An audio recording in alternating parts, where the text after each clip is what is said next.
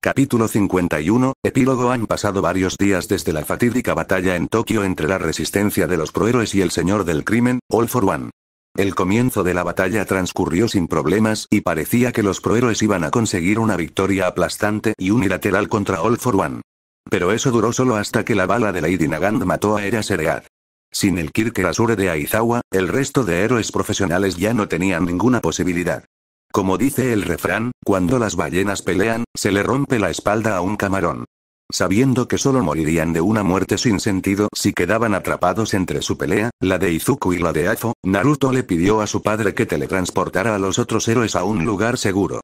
Hasta ese momento, el mundo entero no se había enterado de lo que estaba sucediendo en Tokio. Pero una vez que Eraserea fue asesinado y All for One sacó la artillería pesada, los distintos medios de comunicación tomaron nota inmediatamente de las enormes explosiones y enviaron sus drones para filmar el incidente a distancia. La batalla que siguió fue inolvidable. El corazón y la determinación de Izuku, el ilimitado arsenal de dones de All for One y su inconmensurable fuerza, y la inhumana capacidad de combate de Uzumaki Naruto se exhibieron en la pelea. Sin embargo, los millones de personas que estaban viendo la transmisión en vivo se olvidaron de todo eso cuando Uzumaki Naruto perdió el control de su don. Kyuubi no Kitsune. Era un mito muy conocido no solo en Asia, sino también en Europa y Norteamérica. Pero nadie lo había creído nunca. Después de todo, era solo eso, un mito. Por desgracia, cuando el titánico zorro de pelaje carmesí y nueve colas apareció en los jardines en ruinas del Palacio Imperial, solo quedó conmoción, terror y asombro. Era una bestia como nadie había visto antes, como algo fuera de este mundo. Ni siquiera las criaturas terrestres más grandes de la era mesozoica se acercaban en tamaño. El zorro de nueve colas era simplemente gigantesco. Sus orejas de zorro se movieron cuando el ruido producido por una gran multitud de personas lo despertó. ¿Dónde estoy? Al abrir los ojos y observar su entorno, Naruto se dio cuenta de que estaba en casa, dentro de su habitación. ¿Por qué hay tanto ruido? ¿Qué está pasando? Un dolor de cabeza sordo palpitaba en lo más profundo de su cráneo. Por un momento no pudo recordar sus recuerdos más recientes. Sus huesos crujieron en protesta cuando se levantó de la cama y se acercó a la ventana. En el camino, sus ojos se posaron en el espejo de cuerpo entero que había en la puerta de su armario.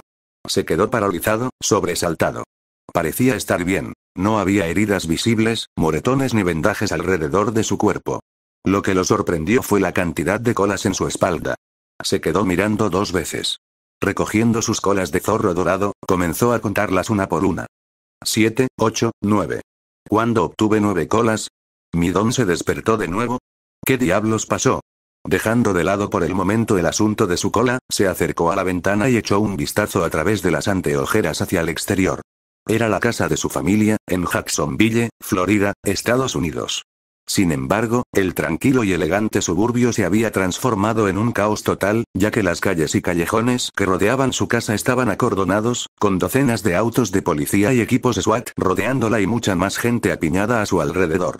No, la policía no nos está rodeando. Nos está protegiendo, pensó cuando se dio cuenta de que todos los agentes de la ley que estaban en el lugar estaban de espaldas a su casa y de cara a la multitud. Pero esa gente tampoco parece interesada en nuestra sangre, ¿qué demonios ha pasado? ¿Para qué están aquí? Cuanto más intentaba recordar, más se le hacía el dolor de cabeza. Llegó a tal punto que se mareó y cayó de rodillas, agarrándose la cabeza con las manos en señal de agonía. Cuando el dolor pareció aumentar más allá de lo que era capaz de soportar, fue como si un dique se rompiera y todos sus recuerdos regresaran a él, golpeándolo como un torrente.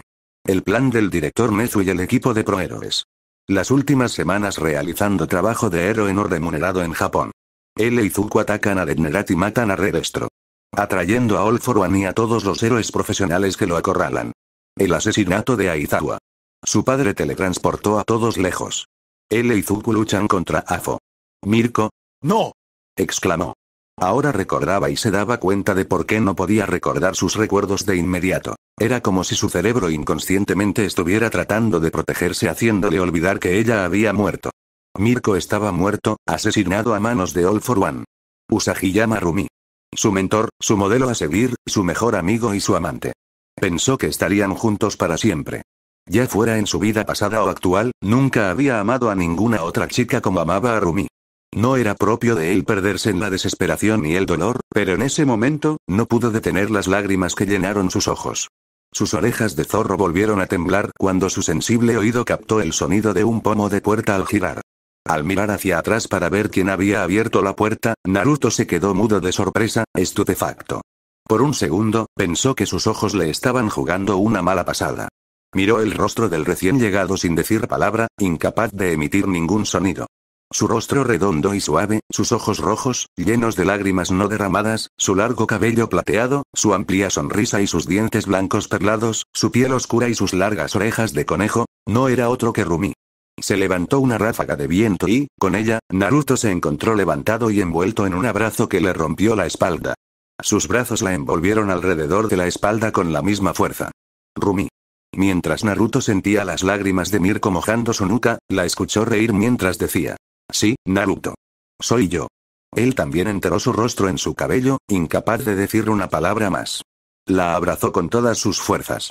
Incluso cinco minutos después, no la soltaba, se aferraba a ella como si fuera su salvavidas.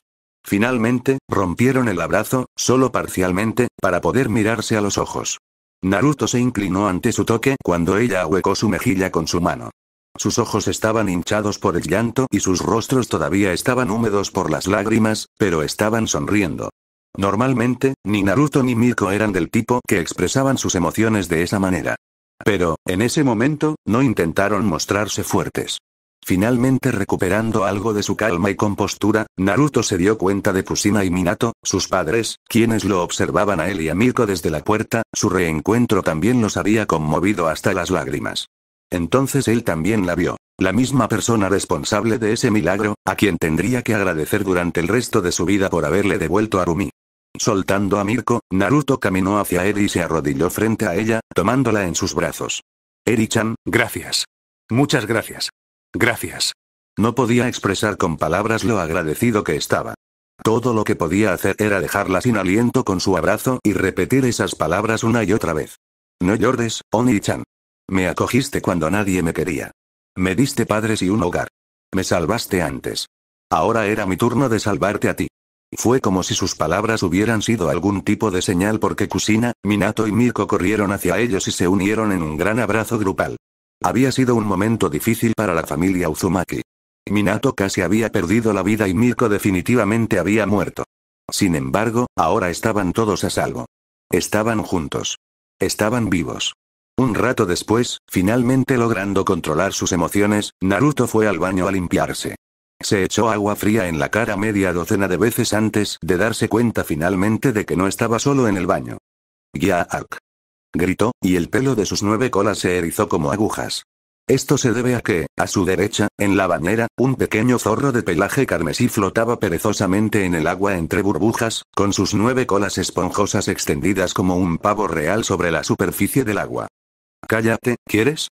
Dijo Kyuubi molesto, sin molestarse siquiera en abrir los ojos para mirar a Naruto. ¿Pero, qué? ¿Cómo? Dijo Naruto con incredulidad. Ahora no, Naruto. Calla. Déjame en paz. Hablaremos más tarde.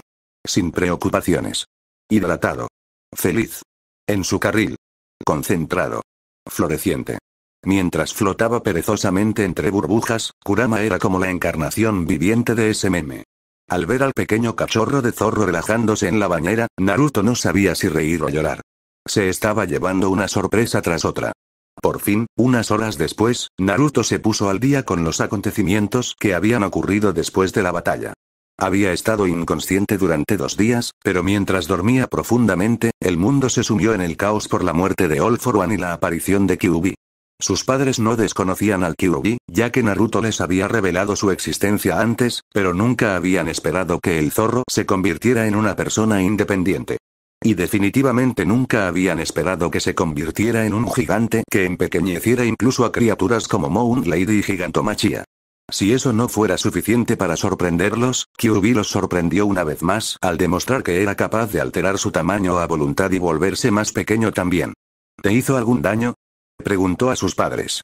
Cuando todo estuvo dicho y hecho, al final, Minato y Kusina habían sido los carceleros del Kyuubi en sus vidas pasadas. Te preocupas demasiado, se rió Eri. Aparte de robarle las latas de Coca-Cola a papá y exigirnos que le acariciáramos y le cepilláramos la cola, Kurama no hizo nada más que dormir y comer. Si no lo supiera, pensaría que es un gato, dijo Minato también, riendo. El alivio de Naruto era palpable. Era como si le hubieran quitado un peso de encima. Por cierto, ¿qué pasa con toda esa multitud alrededor de nuestra casa? Están aquí por ti y por Kurama, respondió Mirko. Kurama, en particular, sacudió al mundo. Nuestra lucha contra All for One fue televisada desde el momento en que Aizawa fue asesinado. Todos vieron a Kurama volverse tan grande como un rascacielos, y también lo escucharon hablar con Izuku. Es diferente a todo lo que nadie haya visto antes, y básicamente lo diste a luz completamente sola. Es una nueva persona, alguien que cobró vida gracias a tu don. No solo la gente común quiere saber más. La gente del gobierno, los investigadores y los científicos de todo el país también quieren conocerlo. La única razón por la que no lo han hecho hasta ahora es porque Kurama dijo que no hablaría con nadie sin ti. ¿Deberíamos huir? preguntó Naruto. Minato se alborotó el cabello, riendo. Claro, podemos escapar, pero ¿y luego qué? ¿A dónde escaparíamos? ¿Y cuánto tiempo lograríamos permanecer ocultos cuando tú llevas nueve colas, Rumi-chan tiene orejas de conejo y Kurama-san es un zorro parlante? Además, no tenemos ninguna razón para escapar. No hemos hecho nada malo. Es todo lo contrario. Tú, Rumi-chan y Kurama-san son héroes. No minimices el papel que desempeñaste tú también, querido, dijo Kusina, dándole un beso en la mejilla a su marido y haciéndolo sonreír. Mientras estaba sentada en el sofá junto a él, Mirko apoyó la cabeza en el hombro de Naruto y su mano se extendió hacia la de él, entrelazándose sus dedos automáticamente. Kusina y Minato sonrieron involuntariamente ante la muestra de afecto no verbal de los dos tortolitos. En ese momento, Kurama entró en la sala de estar con sus nueve colas peludas envueltas en nueve toallas y otra toalla alrededor de su cintura, como un humano. Su apariencia era tan divertida que Naruto estalló en risas al verlo. Pero el zorro no le hizo caso y saltó al regazo de la pequeña Eri, que se desmayó al recibir el honor de tenerlo en su regazo. El pequeño zorro era simplemente adorable. Por cierto, ¿dónde está Kuro? preguntó Naruto, dándose cuenta de repente de que su perro pastor alemán no estaba a la vista. Le pedimos a los Rusell que lo cuidaran durante unos días. La aparición de Kurama casi le provoca un infarto. El pobre perro está demasiado asustado para estar en la misma casa que él. Kyuubi dejó escapar un bufido pero no dijo nada, sintiéndose demasiado cómodo en el regazo de la chica mientras ella lo rascaba suavemente detrás de las orejas. La aparición del Kyuubi resultó ser un acontecimiento mucho más importante de lo que Naruto había esperado. Dos semanas después de la guerra contra All for One en Japón, Naruto y Kurama habían pasado por docenas de pruebas médicas y exámenes psicológicos mientras los médicos y científicos intentaban comprender cómo era posible que Naruto diera a luz a un ser completamente nuevo e independiente a través de su don. Además, esa no fue ni siquiera la parte más difícil. Para gran disgusto del zorro, el gobierno de los Estados Unidos lo obligó a registrarse como ciudadano de Japón y convertirse en parte de la sociedad humana. Eso significaba que tenía que pasar por la educación obligatoria como todos los niños y, lo peor de todo, tenía que obtener un certificado de nacimiento. Oye, hijo, dame esa bolsa de patatas fritas, se escuchó la voz de Naruto. Estaba acostado en la cama junto con Rumi viendo una película. Que te jodan, Naruto. Le gritó Kyuubi, con un gruñido lleno de fastidio. Naruto se rió disimuladamente con regocijo. Nunca iba a dejar que el zorro lo olvidara. Siempre se reiría del hecho de que el certificado de nacimiento de Kyuubi luciera así. Lugar de nacimiento. Tokio, Japón. Nacionalidad. Japonesa. Nombre. Uzumaki Kurama Sexo. Masculino nombre del padre. Uzumaki Naruto Kyuubi alargó una de sus colas para golpear a Naruto con ella, pero una cadena dorada surgió y la detuvo. ¿Cómo te atreves a levantar la mano contra tu padre? Le gritó Naruto con fingida indignación. No me hagas hacerlo, Naruto. Pelearé contigo. Te daré una paliza. Gruñó Kyuubi y la cama crujió bajo su peso mientras su tamaño comenzaba a aumentar rápidamente. Sin embargo, cuando tres cadenas doradas se envolvieron alrededor de su cuerpo, el tamaño de Kurama volvió a ser el de un pequeño cachorro. Las cadenas de sellado de adamantina funcionaron en él en la vida actual al igual que lo hicieron en la vida anterior también. Pero mientras Kyuubi estaba furioso, Eri acudió a su rescate. Mamá. Nii-san está acosando a Kurama-san otra vez. Gritó. Mamá. Con su sensible oído, Naruto y Mirko escucharon la sufrida visión que Kusina dejó escapar abajo. Un destello amarillo iluminó la penumbra del dormitorio mientras Minato se teletransportaba a su habitación. Dios mío. ¿Cuándo dejarás de burlarte de él? Dijo Minato con las manos en la cintura. Mientras Naruto recuperaba sus cadenas, Eri se apresuró a tomar a Kurama en sus brazos. Luego, le sacó la lengua a Naruto e hizo un sonido antes de correr de regreso a su habitación con el zorro a cuestas. Naruto se rió entre dientes por la forma en que Kurama dejaba que la niña lo llevara de un lado a otro de esa manera. Al viejo gruñón le hubiera gustado decir lo contrario, pero en el fondo era un blando. Cuando su padre desapareció con otro destello amarillo, y con Kurama y Eri desaparecidos también, Naruto se quedó solo con Rumi en la habitación. Suspiró reconfortado mientras la chica conejita se acurrucaba más cerca de él, con la mitad de su cuerpo sobre el suyo. Lentamente, pasó la mano por su cintura y caderas, Naruto sonrió y besó la parte superior de su cabeza con cariño. Rumi también le devolvió su afecto levantando la cabeza y besando su cuello. Las cosas aún no eran perfectas. Aunque All for One había sido derrotado y el director Nezu, junto con Izuku y el resto de los prohéroes sobrevivientes, regresaron a Japón, tratando de restablecer el orden, el daño causado por la propaganda del Ejército de Liberación no pudo repararse de inmediato. Las malas acciones del antiguo HPSC habían salido a la luz y se habían expuesto y demonizado los numerosos defectos del régimen anterior. Mucha gente corriente ya no confiaba en los héroes, pero también muchos querían que la guerra civil terminara y que las cosas volvieran a ser como antes. Así pues, así es como llegó a ser la situación actual. Actualmente, Japón estaba en medio de una elección, un referéndum cuyos resultados decidirían si el sistema prohéroe y la Comisión de Seguridad Pública de Héroes iban a ser restablecidos o no. A pesar del caos y el tumulto en su país natal, Naruto no se vio afectado. Ya había hecho más de lo que la mayoría de la gente hizo por Japón. Había hecho su parte.